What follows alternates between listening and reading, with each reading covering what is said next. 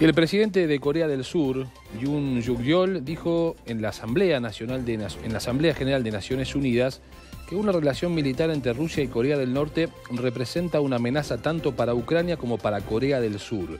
Si la República Popular de Corea adquiere la información y la tecnología necesaria para mejorar sus capacidades de armas de destrucción masiva a cambio de apoyo a Rusia con armas convencionales, el acuerdo será una provocación directa que amenazará la paz y la seguridad no solo de Ucrania, sino también de la República de Corea. Los comentarios de Jun se realizaron durante su discurso en la Asamblea General de Naciones Unidas, cuando recordó su visita a Kiev en 2022 y prometió 300 millones de dólares para los esfuerzos de reconstrucción de Ucrania el año próximo.